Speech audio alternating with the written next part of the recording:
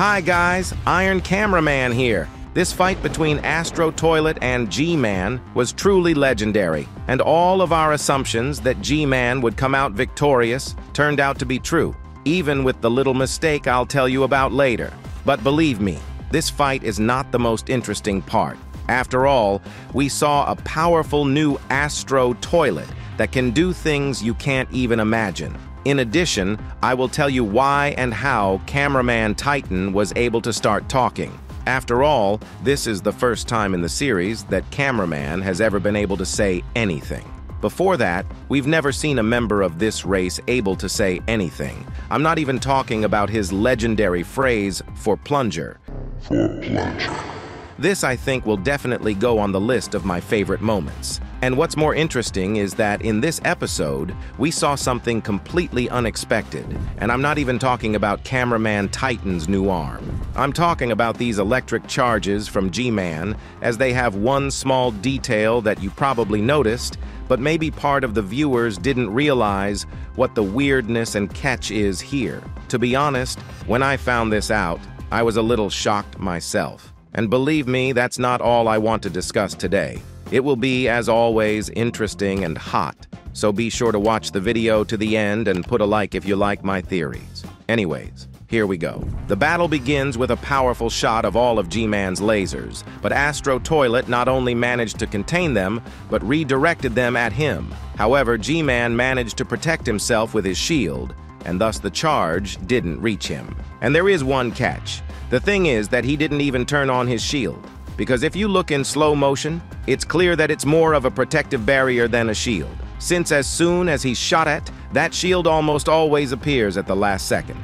Although further on, we see something strange. More on that later. Astro Toilet then decides to strike with three retractable tentacles. We saw a similar technology with the Cameraman Titan in episode 47. However, Astro likely has a more advanced version of this technology. Since his claws have the ability to act on his opponent's brain, it's likely that he would be able to not only attract G-Man to him, but also paralyze him or hypnotize him. So this protective barrier saved him once again, and he also helped himself with his jetpacks, which he directed in the opposite direction to disengage from the tentacles. And here G-Man's shield disappears, and we see that the energy of this shield remains with Astro Toilet.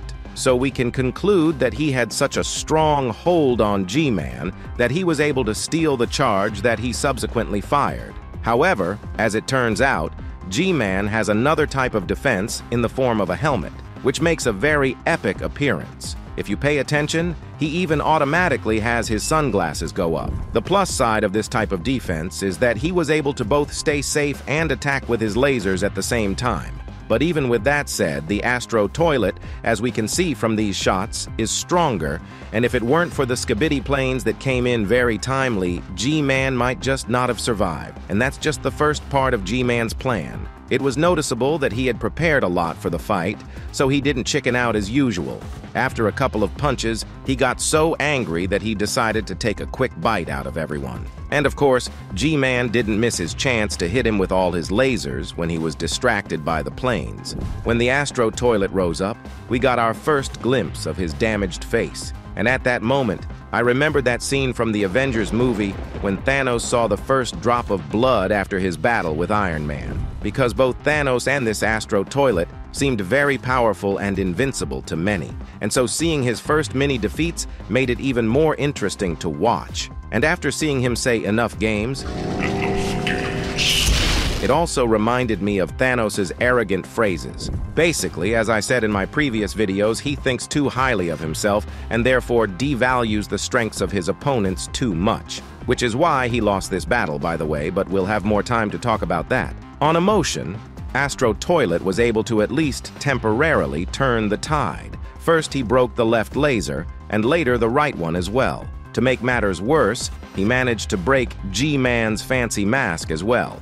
By doing so, he was able to grab his head with one claw while he was about to stab with the other. This is probably a reference to episode 60, where they tried to kill him in the same way. Incidentally, this is also the leak we saw on DaFuqBoom's Instagram. However, like I said, it's more of a troll leak because it differs from the frame just a little bit. And plus, As we know, all troll leaks are done for the purpose of telling a bit of a story. And the interesting thing about all of this is that you often can't look at troll leaks as normal leaks. That's why I suggested in my old videos that this spoiler should be viewed the other way around. That is, I realized it was more for distraction, and it was unlikely that G-Man would lose, which is what we see here. All of a sudden, G-Man starts yelling like a complete crazy psychopath. When I first saw this, to be honest, I was even a little scared. And as you can tell from Astro Toilet's face, it was a surprise to him as well. G-Man was able to lead the battle again, but Astro Toilet didn't give up either and started using his super speed to attack. In fact, he could have taken and run away now, as G-Man even searched for him with his eyes and couldn't figure out where he was. This reminds us once again that Astro Toilet speed is a very powerful and cheating ability. But as we can see, this race is not one to abandon their opponents and walk away. They will see their cause through to the end. Poor G-Man's glasses first break from such strong blows, and later those glasses fly out of his head altogether. But the third time, he turns on his shield and stops the Astro toilet. This is where the logical question arises. Since his shield was automatically activated before, why didn't it turn on at the first or second blow? All because he probably needed time to restore this protective barrier. After all, the Astro toilet had sucked the energy from the old barrier with its tentacles. There's another explanation for this. Most likely, the barrier is turned on automatically not on everything that can damage him, but on different charges or projectiles. As for other types of damage, G-Man has to manually turn it on. He still manages to shoot at the Astro toilet, but the Astro toilet flies away again, and while G-Man doesn't realize where it's gone, it's already standing behind him, preparing to strike like a rat. This is also most likely a reference, and this time to episode 47. It was in this foul way, under the control of G-Man, the Speaker Man Titan hit the TV Man Titan's screen. Incidentally, there was another reference to episode 47 a little later when TV Man turned on his red glow. By some super cool instinct, G-Man noticed in time that there was an enemy behind him and was able to use lasers from his eyes combined with a headbutt to push Astro Toilet away. The one already in his manner took a shot and said, he, Give up, it's over for you. At this point, we might think that it was the charge that knocked G-Man's lasers out. That's why Astro Toilet said give up and thought he didn't have the strength to continue the battle. But as it turned out, this was also part of his big plan, and he turned off the lasers himself to make it look like he had a very weakened opponent. And that energy ball in general seemed too pathetic. So Astro Toilet also added the phrase, that's all? Judging from this footage of G-Man looking at the balloon and it going where he wants it to go, they probably have on-the-fly control abilities. I think the usual purpose for this balloon is to explode after a while. After all, a little later we saw something similar with a new character. He had a balloon too, just a different color. So I think the scientist, when he created this technology, was inspired by the Red Astro toilet technology. But of course, as we already know, G-Man came up with a very clever plan where the goal was not to blow up the balloon, but to purposely release it directly into the claws of the Astro toilet. And here he repeats the same move. But if you look more closely, this time the balloons already have purple electric currents. Let me remind you that purple is the official color of the TV Man Titan, who has the ability to use the glow of the screens to hypnotize his opponent into killing himself. And here's my theory on the matter. We all know the scientist had a book of TV men. When he was still alive, he managed to incorporate many of their technologies into an enhanced G-Man. However, he didn't just bluntly copy the technology like he did with the screens, he was able to make him more advanced and very elaborate. It turns out he stole technology from the Astro toilets, with that balloon, and stole technology from the TV men with hypnosis, and combined it all into one big new technology. Once again, I marvel at the genius of the scientist. It didn't take long for the result of the brilliant plan to come to fruition. When those trap balls exploded in Astro Toilet's claws, he was very much frightened and realized that he had lost control of his two limbs. And as he shut himself down, we see a very satisfied look on G-Man's face. You can see that this is exactly how he envisioned the outcome of his plan. The enemy just kills himself. That's the dream of any fighter, and it was very funny to watch, because he finally paid for his arrogance and cruelty. Barely alive Astro Toilet, who managed to get rid of the infected claws, stood up and still wanted to continue the fight. This is where the most interesting part begins. We can see by the face and the laser on that my assumptions about the special deception lasers being turned off were justified.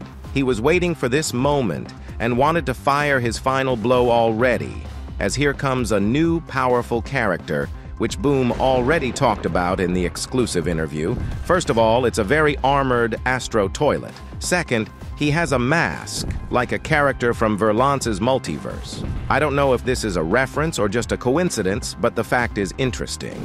After all, since Virlance uses the same program as DaFuqBoom for their series, it's quite possible that Boom simply liked this mask among other things, and decided to use it for his new character. One could immediately state the fact that this monster's energy balls dealt a huge amount of damage, since even G-Man's barrier couldn't withstand this blow, and Speakerman Titan fell at all because of its impact power. And by the way, if it wasn't for Speakerman Titan, then maybe the next hit on G-Man would have been lethal. So it turns out, by accident, the Alliance saved him from death I certainly have nothing against Titans, but as far as I'm concerned, sometimes they take very rash actions before thinking. Although if you think about it, maybe Speakerman Titan just didn't see that red monster aiming at G-Man. After all, his view was blocked because of the mountains, and without figuring it out, he just decided to shoot on the fly. After which, the Red Astro Toilet decided to save his friend and did not continue to fight with no one and from that we can conclude that his only goal was to prevent the damaged soldier from dying. Remember when I said that Astro toilets like to see things through to the end? Apparently all of this is due to this very security guarantee from the Red Guards. It explains the brashness and arrogance of this race. In episode 70, Big Astro wasn't even afraid to come and say that all the Titans were going to die. I wouldn't even be surprised if it turns out later that there's a UFO toilet sitting inside that red Astro toilet. After all, his face is covered for a reason. Since DaFuqBoom likes cool plot twists, it's likely that someone we already know is sitting under the mask. Also in the extra episode when the UFO toilet said something to the big Astro toilet, I think he was just saying he was giving the go-ahead for a security guarantee. And that's why he went so happily and started feeling like a king. A little bit later, Speakerman Titan fires a cannonball, and on the other side, TV Man Titan starts glowing a dangerous red color. And since G-Man had no glasses, there was a good chance that this time he would manage to kill him, and TV Man Titan would finish the job he started in episode 47 before the end. However, this time too, he managed to escape. And as we understand, it will not last long because the Titans will not leave it unnoticed. Speakerman Titan immediately began pursuit. Here we can see how he flies with all speed. TV Man, on the other hand, at this point says he will not escape this time. And then he also addresses cameraman Titan with the words, Are you ready, bro? And cameraman Titan traditionally picks up a new hand, but this time, probably, for the last time because now it is hard to imagine a stronger hand than Astro Toilet Claw. And at the end, the most legendary and epic moment. The cameraman Titan says these words. For plunger. It sounded very appropriate. And in addition, the fact that these are his first words further reinforce the meaning of this phrase. Again, cameramen can't talk. And most likely, since this happened right after Astro Toilet's claw connected to cameraman Titan's body, we can conclude that this is what gave him the ability to talk. I want to remind you that the claws essentially work on their own and are capable of their own brains, since G-Man was able to trick them and turn them against their owner. This is roughly the same thing we saw in the Spider-Man movie. Remember the moment when Spider-Man was able to control Octavius's claws? Well, it seems to me, since he started talking and this claw was able to somehow transfer the ability to speak Astro Toilets into the cameraman Titan's body, I don't think it's going to stop there. And the claw won't at some inopportune moment resist and do what it wants. Plus, G-Man has balls that can control this, so it's best that cameraman Titan be careful. However, even considering these risks, I am very glad that now cameraman Titan will also be able to express himself with words and please us with his epic phrases. I'm going to make a separate video about Claws and Titan, where I will tell you more about everything that is connected with new technologies in the series. So be sure to subscribe to the channel not to miss the next video. And by the way, friends, I would like to apologize for the previous video. The thing is that today I double-checked the information about the texts in the leaks, and it turned out that there were no secret texts except for the number 74 in the leaks. Our team will check everything more carefully so that this will not happen again, and so that I will not misinform you. Therefore, as compensation and gratitude for your support and activity, I decided to make you two gifts. First, I will soon have a room tour video where I will show you my room and face with a real voice.